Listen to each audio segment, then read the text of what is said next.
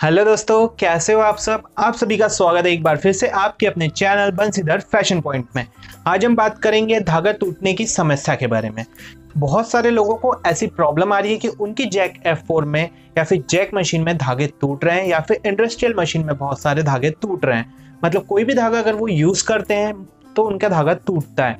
मुझे ऐसी कई सारी कमेंट्स आई है जिसमें मुझसे पूछा गया है कि ऐसा क्यों होता है। तो उसके हम तीन कारण जानेंगे स्टेप बाय स्टेप और समझेंगे कि धागा क्यों टूटता है। सबसे पहला कारण ये होता है कि आप मशीन को कम स्पीड में चलाते हैं।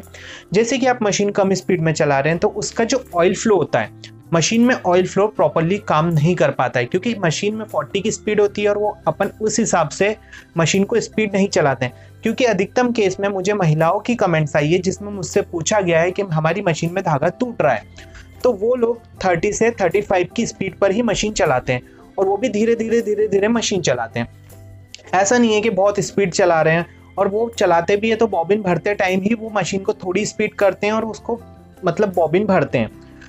तो क्या करना चाहिए? उनको एक बार मतलब मशीन स्टार्ट करने से पहले दो से तीन मिनट मशीन को खाली चलाना चाहिए। खाली चलाने से ये फ़ायदा होगा कंटिन्यू एक जैसी खाली जब मशीन चलेगी मतलब एकदम स्पीड कम ज़्यादा कम ज़्यादा बैलेंस बनाते हुए कि मतलब ज़्यादातर उसमें फास्ट चले, थोड़ी दो चार सेकंड दस सेकंड फास्ट चले, फिर उसको एकदम धीरे करे, फिर फास्ट करे, फिर धीरे करे तो उससे क्या होगा कि मशीन पूरी मतलब ऑयल पूरी मशीन में फ्लो होगा।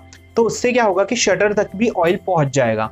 अब दूसरा कारण जान लेते हैं कि कम स्पीड पे चलाने से मशीन का जो ऑयल है, वो शटर तक के नहीं पहुँच पाता है। तो उसमें हमें यही समस्या आ जाती है धागे टूटने की। शटर में मतलब सूखापन आ जाता है तो वो धागा कट कर देती है।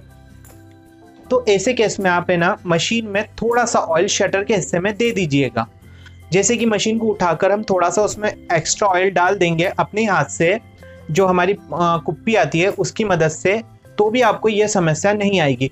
और कभी कभी जैसे धागा टूटने की ज़्यादा समस्या आ रही है तो आप कुप्पी की मदद से शटर में ऑयल दे दीजिए और शटर को एक बार चेक कर लीजिए, कहीं उसमें कचरा या फिर पहनापन तो नहीं आ गया है। अगर पहनापन आ गया होगा तो शटर चेंज कर दीजिए और नहीं आता है तो आप इस तरीके से काम करिए। मतलब उसको थोड़ी सी कुप्पी की मदद से ऑयल दे दीजिए मशीन में प्रॉब्लम नहीं आएगा।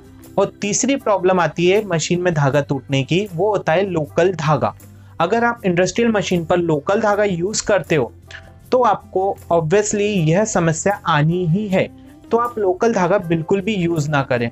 क्योंकि मुझे कमेंट्स में कई बार ऐसा पूछा गया है कि हम मशीन में धागा अच्छा यूज़ कर रहे हैं तो ये समस्या क्यों आ रही है? तो ये समस्या इसलिए आती है कि आप 30 से 35 की स्पीड पे या 25 की स्पीड पे मशीन को चलाते हैं तो प्रॉपरली जो ऑयल है वो काम नहीं कर पाता है। मतलब पूरी मशीन में वो नहीं घूम पाता है।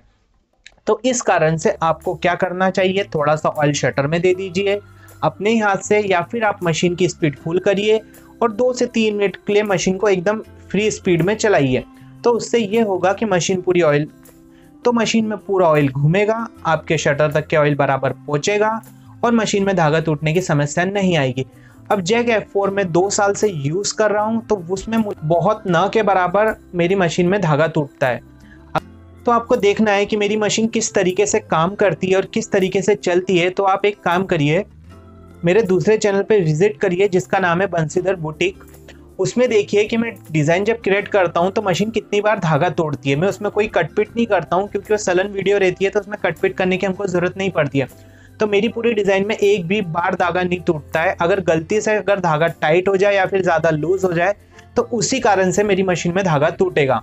तो ये प्रॉब्लम्स हमने इस तरीके से समझी। आई होप आपको ये वीडियो काफ़ी पसंद आया होगा और यह वीडियो आपके लिए बहुत ज़्यादा हेल्पफुल ही रहा होगा।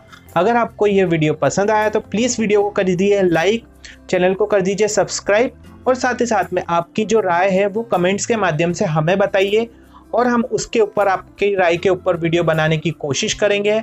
मिलते हैं नए वीडियो में, जब तक ले, बाय बाय, घर में रहे और सुरक्षित रहे।